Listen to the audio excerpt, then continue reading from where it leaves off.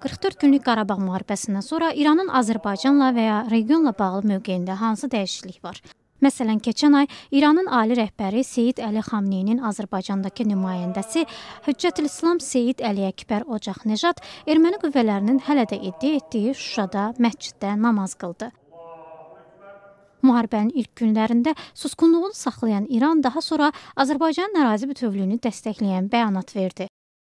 Berlində Almaniyanın Beynəlxalq və Təhlükəsizlik İnstitutunun İrandan olan təhlilçisi Həmid Reza Əzizi deyir ki, İranın Azərbaycana meylənməsinin iki səbəbi var.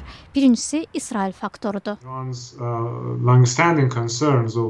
İran İsrailin regionda inkişafının artmasını narahatlıqla izləyirdi. Qarabağ müharibəsi vaxtı da izlədi. İran bilir ki, əgər Ermənistanın tərəfində dursaydı, Azərbaycan İsraillə daha çox yaxınlaşacaqdı. Bundan başqa Cənubi Qafqaz ölkələri arasında real iqtisadi potensialı olan ölkə ölkə Azərbaycandır.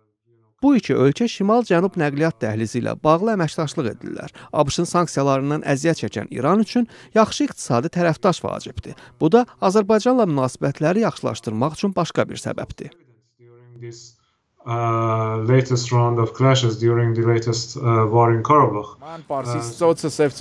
İran həmçinin Ermənistana da investisiya qoymaqda davam eləyir. Ermənistanın baş naziri Nikol Paşinyan avqustun 5-də İranla səfərdən qayıdıb. Orada müzakirə olunan mövzulardan biri də İranla iqtisadi əməkdaşlıq olub. Həmid Rəza Əzizi deyir ki, İranın Ermənistanla münasibətləri pisləşdirmək üçün səbəbi yoxdur. Tehranda siyasi şərhçi İranın Azərbaycandakı keçmiş səfiri Əfşar Süleymani isə deyir ki, İranın istəyi indi Azərbaycanla daha çox əməkdaşlıqdır. İran üçün ora yaxındır. Əslində Azərbaycana oranın bərpasında çox ucuz başa gələr. Yəni e, yaxındır da sərhəd 130 kilometr əlavə hər keçmiş sərhədlər qayıdıb yerinə.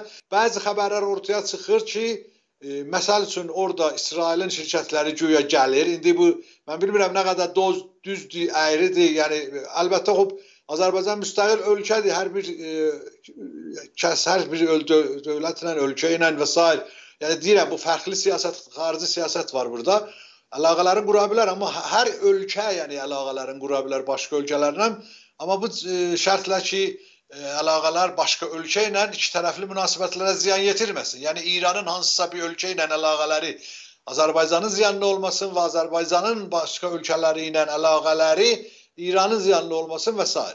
Onun üçün burada deyir İranın da şirkətləri güclüdür, imkanları da çoxdur, yolda yaxındır və hər şey qaydasındır. Əfşar Süleymani həmçinin əlavə eləyir ki, İran umur ki, həm də Ermənistan və Azərbaycan arasındakı məsələlərdə, o cümlədən Cənubi Qafqazdakı bütün siyasi proseslərdə Rusiya və Türkiyə qədər iştirak eləsin.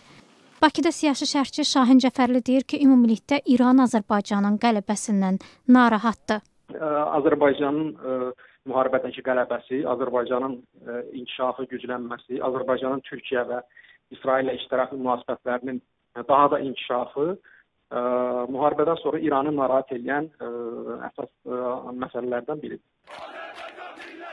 Şahin Cəfərli hesab edir ki, İran həm də Azərbaycan türklərinin mümkün narazılığından çəkinərək müharibədən sonra Azərbaycanla ən azı üzdə münasibətləri yaxşılaşdırır.